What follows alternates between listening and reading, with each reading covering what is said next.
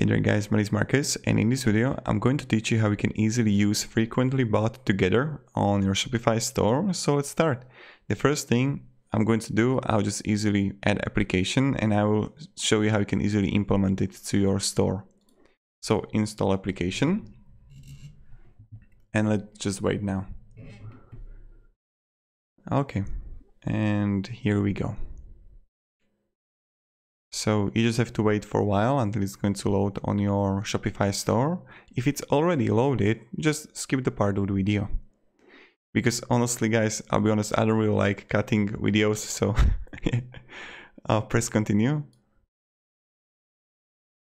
As a free plan, okay. And here we go. So, application state enabled, and now recommendation uh, explorer menu bundles, visual preferences, widget location, so we can edit everything here. So let's start with a uh, recommendation explorer. So you can use this recommendation explorer to check out how recommendations for a particular product are built. I don't have many products, so I'm going to just like choose here. And then uh, you can customize the manual recommendations in the manual bundle selection automatic recommendations, there are no previous sales of this product.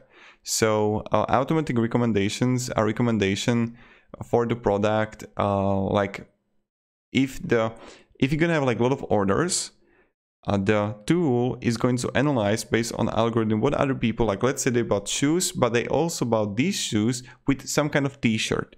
And what can happen is that you will see based on automatic recommendation the t-shirt that other people bought with these shoes. So that's really good.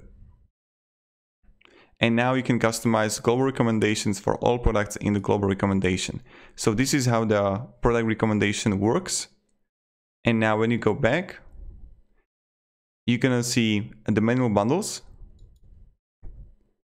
And this is select to product to check bundle okay select and select products to add to this bundle I will just select uh, my second product here. So this is how it work right? It's out of stock uh, but right now you can have the manual bundles. And this is how it works right? You see. You can add to the head multiple products. Let's scroll down below and you see it right here. So pretty straightforward, pretty easy. Now when we go even further, you can go to the discounts uh, and you can enable those. So individual discount or normal discount and when there is going to be a bundle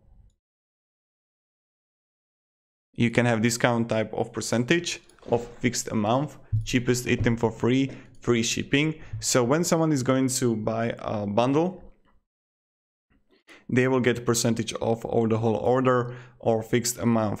So that's something you can do. So this is how the discount works.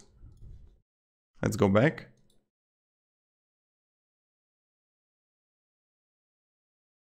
The next thing I want to show you is recommendation tuning then we'll go to visual preferences and widget location.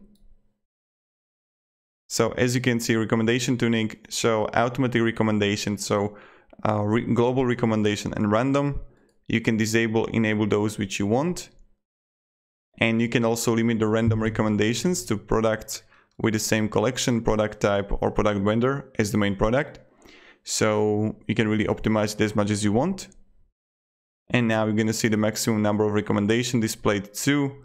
You can shuffle those recommendation and there, then you can see like products excluded. All products are eligible to be recommendation. Uh, you can exclude some products. And now that's pretty much it how it works. So Yep, you can have also like more recommendations displayed you can shuffle those. It's really up to you how you uh, like edit it and how you optimize it. I can't really say what is the right way because you need to test a lot. So test something for two months, test something else for another two months, and you will see those results, uh, which one works for you the best. And but look at it from the logical perspective, right? So let's say I'm going to store, but it's in Slovak language, but you will understand. So let's say that I'm going to use and buy this product, right? Straight away, when I see that's a monitor, they are going to offer me some combo here and also a premium core display port and also power display port for for this like BenQ. And this is pretty much what you should do. So try to like when, when someone is going to buy a notebook right? What is really great to offer it if when someone would go buy a notebook is to offer a stand to it right? So i'm going to uh, buy this dell here. And it would be really great if someone would offer me yes one terabyte and this is it stand. And even the mouse to it.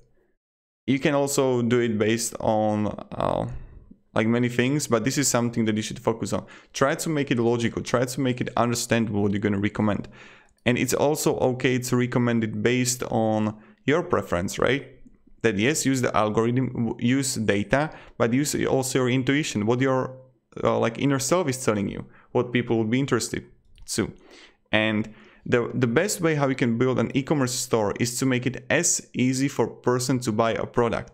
Many people think that it's like really hard to build a really effective good e-commerce store. It's simple. Just of course have a good product. If you're gonna drop ship things from uh, AliExpress, don't expect too much. But when you're gonna uh, like build it, and I'm going to build it simply, I'm going to make effective things with the SMS campaign, with the email marketing, and also with recommended products. You can do wonders. Then you're gonna see the discounts here, manual bundles, visual preference, how it looks like. So you see right here that we gotta see the frequently bought together, the widget, uh, the discount, add to cart, product name, description, variants, and this is how it works. And you can edit that and you can change the visual of it. Now when we go further I can go to last thing and widget location. And now location of the frequently bought together widget.